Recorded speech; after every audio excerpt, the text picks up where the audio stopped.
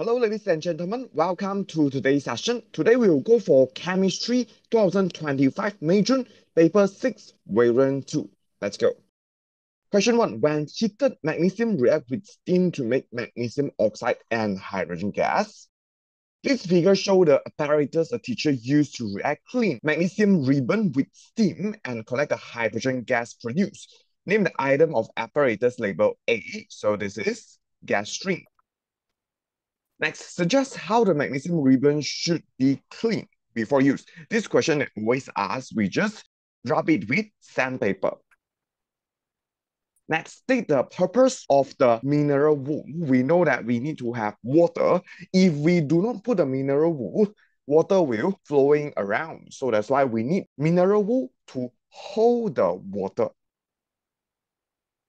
Draw two arrows to show the two places where the apparatus should be heated. So we need to heat the magnesium ribbon first, and then we need to heat so that the water can evaporate so it can passes through the heated magnesium and have reaction. E. During a reaction, a colorless liquids collect at point X. Identify the liquid here. For this reaction, they only can form magnesium hydroxide and also hydrogen gas. So what else is the liquid that will form? It's only H2O because here when we heat the water will evaporate but this region they are cooler so that's why water can condense here and form H2O at this corner. F. The gas collected in A is not pure hydrogen. Suggest why the gas collected is not pure is always because it contains air. Because when we fit in this apparatus, initially it contains some of the air, so that's why it cannot get a very, very pure hydrogen gas. Question two, a student investigate the temperature change when anhydrous lithium chloride dissolved in water. They use five experiment. Experiment one, they use measuring cylinder to pour 40 cm cube of distilled water into beaker. From here, we already know they say they use measuring cylinder, which is not very accurate. Usually, if you use burette, would be more accurate. Next, they say they use a thermometer to measure the initial temperature. Add 2 grams of anhydrous lithium chloride. Continuous stir the mixture by using a thermometer, measure the highest temperature, then they repeat the experiment with 30 cm cube of distilled water, 25, 20, 15. The thing that they don't change is 2 gram of lithium chloride. The thing that they change is the volume of water. And then they keep investigating and record what is the highest temperature that you can form, that it can form. All of the mass of anhydrous lithium chloride is 2.0 and make sure all accuracy is 0.0. If you just write 2, then we'll minus mark because of the accuracy. Next, we need to record the highest temperature reached from the photos that I give. Here is 27, but we check back here, it's one decimal place, so make sure you write 27.0. And then the temperature change, just use this minus this will be 4.5. 29, 6.5. Here, not yet 31, so it's 30.5, 8.0, 32.5, 10.5, 35.5, 13.5. So the table write it correctly and accuracy for marks. Part B, complete a suitable scale on y-axis to plot your results from here. So we know the temperature change, maximum is 13.5. We need to fully utilize the scale, 2, 4, 6, 8, 10, 12, 40. So it's just nice it can cover 13.5, so we use this. Then when the volume is 40, the changes is 4.5. When it's 30, it is 6.5. 25, 8. 20, 10.5. 15, 13.5. Then draw a line of space free Next question, extrapolate the line on your graph to deduce the temperature change when experiment one is repeated with 45 cm cube of water instead of 40. So from here, we know it is 4.2 degrees C. And you must show your working by drawing the lines. So as long as you show like this and your graph is smooth, then they will accept any value that you correctly shown from your smooth curve graph. Part energy given by 2 gram of anhydrous lithium chloride dissolved is calculated using the formula below. Ask you to form find when 2 gram of anhydrous lithium chloride dissolved in experiment 5. So the temperature change and volume of water, we check back. Volume is 15, temperature change is 13.5. You get 850.5. E, estimate the temperature change when temperature 1 is repeat using 4 gram of lithium chloride instead of 2 gram. So we will estimate it is double because the number of anhydrous lithium chloride is double. Double the mole, double the heat release. Experiment 1 initially increased by 4.5 degrees C. So double of it will be 9.0 degrees C. The reason is because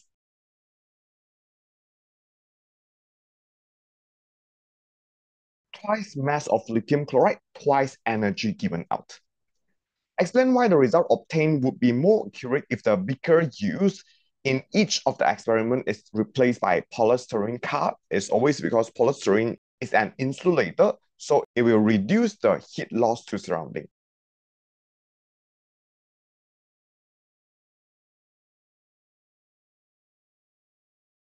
G, explain why using burette instead of measuring cylinder is an improvement. We always talk about this because it increases accuracy.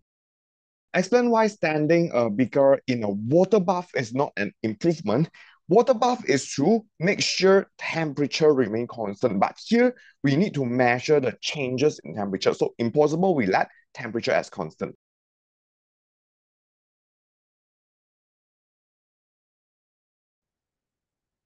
Question three, a student tests two solids, which is J and K. J is a iron 2 iodide. The student dissolves solid J in water to form solution J and divide into four portions and do four different tests. Part A, to the first portion, the student adds aqueous NaOH dropwise and excess. So we refer back to the NaOH plus testing for iron 2, they say it form green precipitate insoluble in excess. Okay, so we just write our observation based on this. When it's dropwise, it form green precipitate. Just copy the correct one. And then when add in excess, they say insoluble. As long as you copy the info correctly, then all the answers already in the table. Part B. To the second portion of J, the student add 1 cm cube of dilute nitric acid, followed by barium nitrate. When you see barium, confirm it's testing of sulfide ion. This is iodide. This do not have sulfide. So that's why no reaction will happen. So you just write no change. C. To the third portion of J, the student add dilute nitric acid with few drop of silver nitrate. Silver nitrate is for the testing of group 7. And here we have iodide. So if we test with silver nitrate, you will form yellow precipitate. Make sure you know PPT means precipitate. D. To the fourth portion of solution J, they add aqueous chlorine. Okay, so this is the only information that do not provide you from the table at the back. They are testing you whether you know the displacement. They're using the idea of group 7. Chlorine is more reactive, so chlorine prefer to become chloride ion. So they will have displacement happen, so iodide will change back to iodine. Brown solution will form color for iodine. For chlorine is yellow. For bromine is orange. To test on solid K, table 3.1 shows the test for the observation of solid K. From the table, test one says carry out flame test on K and lilac color flame. So potassium is there. And then test two, they says the remaining K solution dissolved in water to form solution K.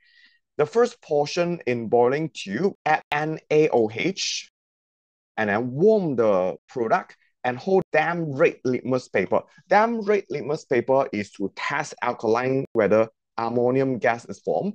And then they says the red litmus paper remain red, means that no ammonium is released, means that it's not ammonium ion. Task 3, second portion of solution K add sodium hydroxide and a piece of aluminum foil. So when they add aluminum foil, means that they are testing nitrate ion. Warm and test any gas given. They say effervescent C, and then damn red litmus paper turns blue, means ammonium is produced, so we can confirm nitrate instead. So from here, we already confirmed this is potassium nitrate. Then we can see the question. State the conclusion about K that can be made from the observation in test 2. So we know test 2 is to test the presence of ammonium ion. So you just say not ammonium ion. Make sure you write ammonium ion follow back here. Identify the gas given in test 3. Obviously, it is ammonia gas because it will turn the red litmus paper blue. Identify solid K. We already confirm we have potassium in test 1 and we confirm nitrate ion here. So that's why you just write potassium nitrate. You just follow what they write here, then you gain all these marks. Question four, plan experiment. Magnesium sulfide is a salt which soluble in water. The solubility of salt is the mass of salt dissolved in 100 cm cube of water at a specific temperature. Plan an investigation to determine the solubility of magnesium sulfide. Dimension 50 degrees C. Your plan include how the solubility of magnesium sulfide gram per 100 cm cube can be found. You are provided with magnesium sulfide, distilled water, common lab apparatus. To check it, first thing you need to make sure you have 100 cm cube water. So use burette. After measure 100 cm cube, we put into the beaker. Then next thing there, I need to fix 50 degrees C so you need to put them in a water bath and control and make sure it's already reached 50 degrees. Then you need to put magnesium sulfide, but how much you need to put? Every batch we put 10 grams and then we stir. If everything dissolves, we continue to put another 10 grams. So every time we put, we will know how many grams we are putting in until it still have some of the magnesium sulfide unable to dissolve, then we stop. Then how we know how many grams haven't dissolved, we filter it out and measure the mass again. Then you know how many grams is dissolving into this 100 cm cube of water in 50 degrees C. Then we will know what is the solubility, just like that. Then you just write it in words. So first, we need to measure 100 cm cube of distilled water using burette and pour it into a beaker. So you need to clearly tell me what apparatus you are using. Next step, heat the water in 50 degrees C water bath because this is the only way that you can keep it in a constant temperature of 50. Then we add the magnesium sulfate. We add every time 10 grams portion because we don't know how many grams will it dissolve. Every time we stir, if it dissolve, we continue to add in another 10 more grams until no more dissolve. Then we filter out the undissolved solids then we will know what is the mass of magnesium sulfate that dissolved because we just used the total mass we added minus the undissolved mass. So in this way, we already know what is the solubility of magnesium sulfate, just like that. So this is the end of the paper review. Don't forget to subscribe, like, and share my video. If you have any questions, please feel free to comment here. See you in the next class. Bye-bye.